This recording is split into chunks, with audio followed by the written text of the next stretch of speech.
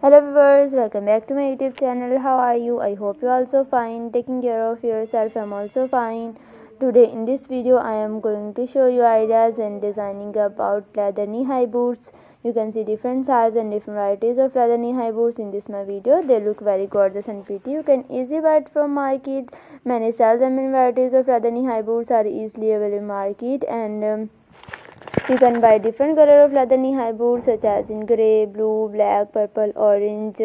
Uh, many of the different sizes uh, of knee-high boots is depending on your choice. You can wear these leather knee-high boots so uh, mm, different uh, outfits and they look very gorgeous. As you know, leather knee-high boots is a they are generally tied around the leg shaft and ankle then at the top or easy made of leather versions made of synthetic rubbers and they are used by fishermen, dairy work and many different also but nowadays they are fashions. You can many uh, women like these leather gloves the trend began to feel very tired, very thin, almost 20 in 20 in one knee-high boots are universally flattening. You can find out one outfit uh, your calf. Don't forget boot can be talking over stretches a little. If you have clogged outside and manufacturing standards, why not try manufacturing? And uh, if you are tall, knee-high boots might look like more of an uh, anchor awkward mid-calf styles. If you if you full and uh, knee-high boots might be true uh, be too. You can always opt for an over the knee style instead to hit the right height and uh,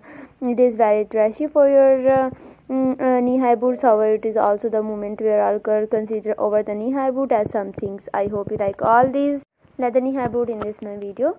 And if you want many more ideas and designing about leather knee-high boot please see my videos on my youtube channel. And if you have any question please tell me in the comment section. I always available for you inshallah.